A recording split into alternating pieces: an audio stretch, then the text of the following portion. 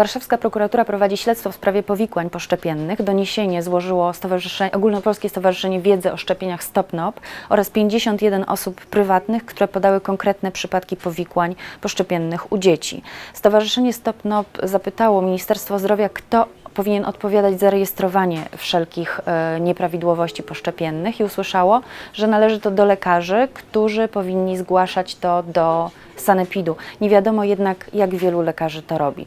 Ostatnio szczepionki mają w Polsce wyjątkowo złą prasę, zwłaszcza po tym, jak w połowie stycznia zmarła półroczna Basia, Basia Skutna. Dziewczynka trafiła do lekarza dwa dni po szczepionce e, z bardzo poważnymi powikłaniami.